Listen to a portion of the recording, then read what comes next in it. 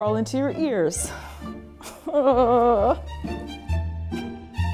it's very rare, there are a number of reported cases where a cockroach crawls into a human ear and gets stuck.